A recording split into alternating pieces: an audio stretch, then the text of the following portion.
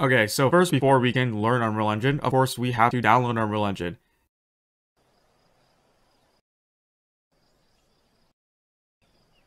Now it is finally time to talk about lighting. Lighting is a pretty big deal, specifically because of Lumen. What would you do if I told you I could give you a climax using only words? Go on.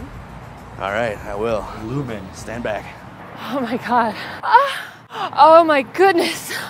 Now we're gonna talk about nanite. Nanite. Oh god. Oh, oh mother Now it's time to start programming. So Unreal Engine 5 handles programming a little bit different. It's called Blueprint. Shit. Now download the Quixel Megascans Medieval Game Environment. So this is what you should see when you finally download the project. Now I'm just gonna go ahead and let's restart now. So finally, after about five hours, this is our finished result. If you remember, Unreal Engine is a game engine. And now if I press play,